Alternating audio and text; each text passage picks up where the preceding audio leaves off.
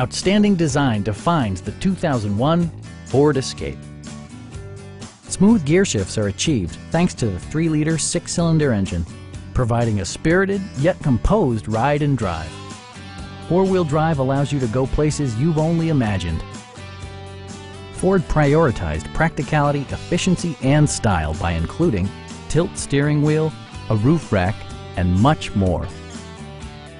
Ford also prioritized safety and security by including dual front impact airbags, a panic alarm, and ABS brakes.